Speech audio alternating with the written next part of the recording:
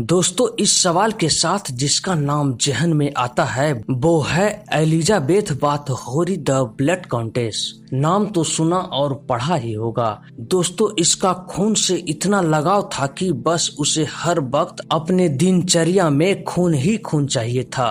Hello दोस्तों, मैं हूँ संदीप। आप देख रहे हैं मेरा यूट्यूब चैनल ज्ञान बुलेटिन। तो चलिए दोस्तों, आज हम आपको इस वीडियो में एक ऐसे महारानी के बारे में बताएँगे जो क्रूरता की सारी हदें पार कर गई थी। तो चलिए दोस्तों, वीडियो शुरू करते हैं। दोस्तों, एलिजाबेथ वाथहोरी का जन्म 7 अगस्त 1560 में हंगरी में एक बहुत ही बड़े राजकीय परिवार में हुआ था। दोस्तों, कहा जाता है कि उसने अपने ज़िंदगी में बहुत ही कम उम्र में अपने परिवारों से क्रूरता का पालन करना सीख लिया था। जब उसने हंगरी का शासन भार 1590 से लेकर 1606 के बीच में संभाला, उसके दौरान उसने करीबन 650 से लेकर 700 तक जवान कुमारी लड़कियों का बहुत ही बेहरमी से खून कर चुकी थी। दोस्तों, वो सिर्फ़ उसके खून से नहाकर मरते दम तक जवान और गठीली खूबसूरत बनकर रहना चाहती थी। दोस्तों, उसे यह लगता था कि कुमारी और जवान लड़कियों की खून से नहाने से और उस खून के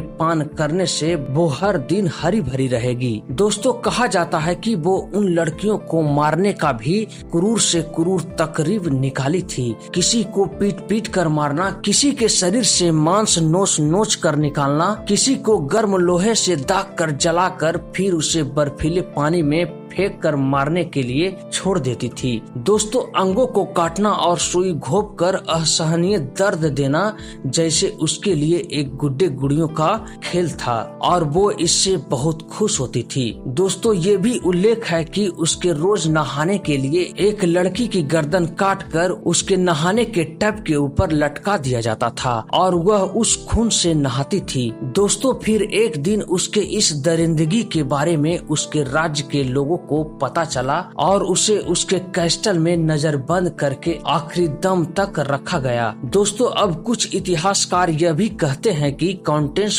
रही खुद एक मानसिक रोगी थी। उसकी सारी खजाने और पावर को हथियाने के चक्कर में उसके कुछ अपनों ने ही उसे कैदी बना लिया और लोगों के मन में उसकी ऐसी छवि बना दी। दोस्तों, अब सच्चाई क्या है? एलिजाबेथ रही और उसके आसपास के लोग ही जाने मगर आज जो भी लेखा जोखा सामने आया है, उसके बारे में वो रोंगटे खड़े कर देने वाला इसमें कोई दो राय नहीं है। तो ये थी दोस्तों एलिजाबेथ रही द ब्लड कॉन्टेस्ट के बारे में, जो दुनिया की सबसे खतरनाक महारानी मानी जाती थी। दोस्तों, यदि आपको यह वीडियो अच्छी लगती है तो आप हमें कमेंट कीजिए और इस वीडियो को लाइक कीजिए। और दोस्तों, चैनल सब्सक्राइब करना बिल्कुल मत भूलिएगा, क्योंकि इसी तरह का वीडियो इस चैनल पर हम लाते रहते हैं। धन्यवाद दोस्तों। जय हिंद।